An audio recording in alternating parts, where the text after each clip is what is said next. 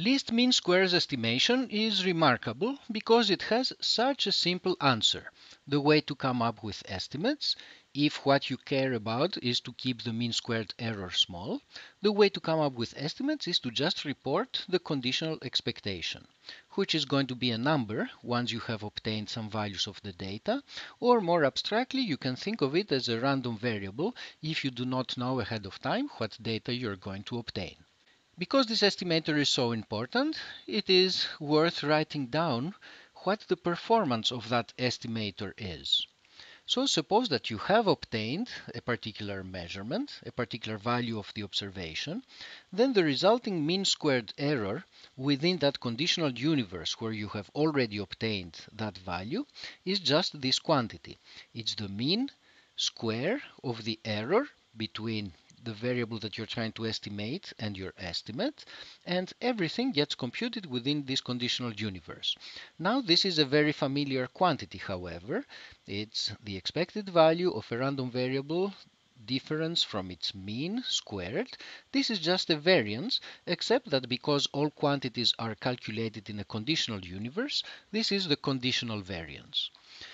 So the conditional variance is the optimal mean squared error, the mean squared error that you obtain when you use this particular estimate, and it's the value that you would report to your boss if you were asked, how good is the estimate that you're giving me? But suppose that you have not yet obtained a measurement, but you are going to your boss and you're proposing this particular estimator as your design what are you going to report to your boss as the performance of your design? Since you have not yet obtained the value of x, x is a random variable. You do not know what the value of this conditional expectation is going to be. It's a random variable, but no matter what it is, this is going to be the error that you're going to be obtaining, and this is the overall value of the mean squared error. So this is the quantity that you would report to your boss as your overall mean squared error, the value that you report before obtaining any specific measurement. Now, what is this quantity? This quantity is just the average of this quantity up here, averaged over all the possible values of x. And in our more abstract notation, it is just the expectation of the conditional variance.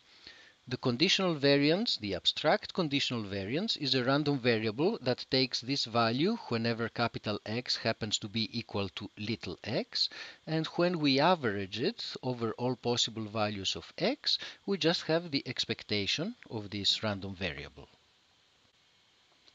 Let me continue now with a few more comments on LMS estimation. First, something that should be pretty clear at this point is that LMS estimation is only relevant to estimation problems. This is because in hypothesis testing problems we typically care about the probability of error, not the mean squared error. A second important comment is that in some cases the LMS estimates and the map estimates turn out to be the same. When is that the case? If the posterior distribution of theta happens to have a single peak and it is also symmetric around a certain point, so that the peak also occurs at that particular point, then clearly the peak occurs here, but the conditional expectation is also that same point because it is the center of symmetry. So in those cases, the two types of estimates or estimators coincide. When does this happen? This happens in one particular important special case. We have seen that in linear normal models, the posterior distribution is normal, and so this is one case where the map estimate and the LMS estimate are going to coincide.